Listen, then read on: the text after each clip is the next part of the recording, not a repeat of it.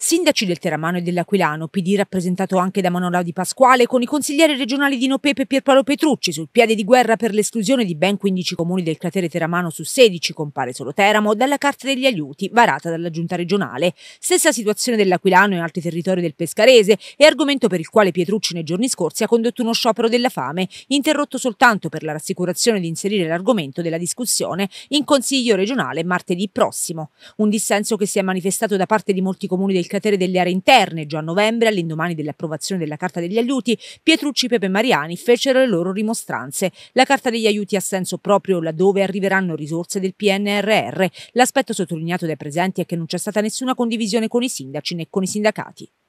Questa situazione arreca ai comuni del Teramano gravissimi danni, soprattutto ai comuni del cratere esclusi. Sono 15 comuni su 16 esclusi da questa opportunità della Carta degli Aiuti e adesso con il PNRR SISM, cioè con gli oltre 800 milioni a disposizione delle aree cratere, non avere la Carta degli Aiuti e quindi la possibilità di intensificare gli interventi sulle imprese è davvero un danno economico e sociale importantissimo sulla provincia di Teramo. Pensiamo ai comuni come Montorio che hanno aree industriali importanti, pensiamo al distretto eh, turistico dei Prati di Tivo, completamente esclusi da questa opportunità.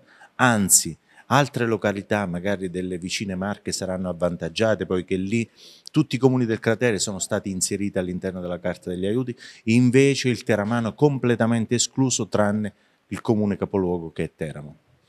I comuni vanno reinseriti, hanno ribadito Pepe e Pietrucci. Più che carta degli aiuti, attaccato Pepe si può definire carta della discordia. Per Pepe ci sono territori come Montorio, che è area industriale o prato che saranno penalizzati in particolare. La speranza è che alla faccenda si metta una pezza, si può fare. I comuni vanno reinseriti tutti, dicono, altrimenti gli investimenti andranno altrove. Deve essere una battaglia di civiltà di tutta la regione.